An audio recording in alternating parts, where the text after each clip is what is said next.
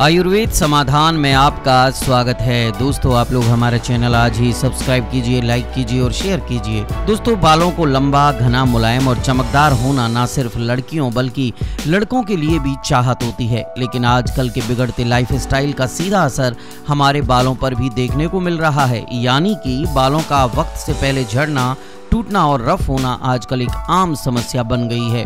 लंबे बाल पाने के लिए आजकल लोग क्या नहीं करते, लेकिन फिर भी कुछ ना कुछ कमी रह ही जाती है। आपको लंबे बालों के लिए ये जानना ज़रूरी है कि आखिर आप ऐसी कौन सी गलतियाँ कर रहे हैं जिनसे आपके बाल झड़ रहे हैं। साथ ही ये भी जानने की ज़रूरत है कि वो कौन सी हेल्दी उपाय हैं जिन्हें अपनाकर आप अपने बालों की ग्रोथ को बढ़ा सकते लंबे बाल पाने के लिए सिर्फ़ अच्छे उत्पादों का इस्तेमाल ही ज़रूरी नहीं, बल्कि बालों की सही देखरेख भी ज़रूरी है। अब कितना ज़रूरी होता है प्रोटीन, जरा ये भी देख लेते हैं।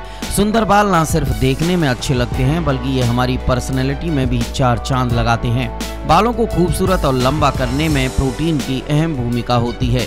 प्रोटीन युक्त आहार आपके बालों की खूबसूरती बढ़ाने का काम करते हैं। बाल कैरोटिन नामक प्रोटीन से ही बनते हैं और खाने में उचित प्रोटीन लेकर आप अपने बालों को चमकदार, मज़बूत और खूबसूरत बना सकते हैं। यानी कि बालों के टूटने की सबसे बड़ी वजह शैम्पू नहीं, बल्कि शरीर में पोषक तत्वों की कमी है।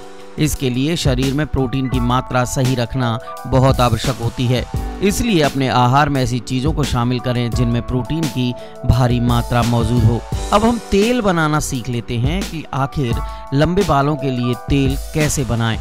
इसके लिए आपको कुछ भी बाज़ार से खरीदने की ज़रूरत नहीं है, बल्कि सब कुछ आपको आसानी से अपनी रसोई में ही मिल जाएगा।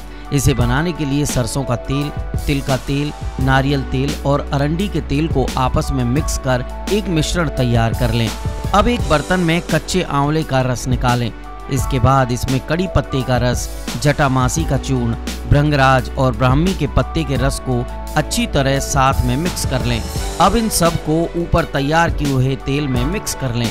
अब इसे हल्की आँच पर करीब आधा घंटे तक पकाएँ। पानी उड़ जाने पर बोतल में भर दें और अब इस मिश्रण को एक दिन के लिए ऐसे ही रहने दें।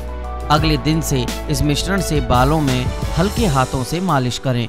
सिर्फ़ तीन दिन तक ऐसा करने से आपको खुद ही अपने बालों में फ़र्क दिखने लगेगा।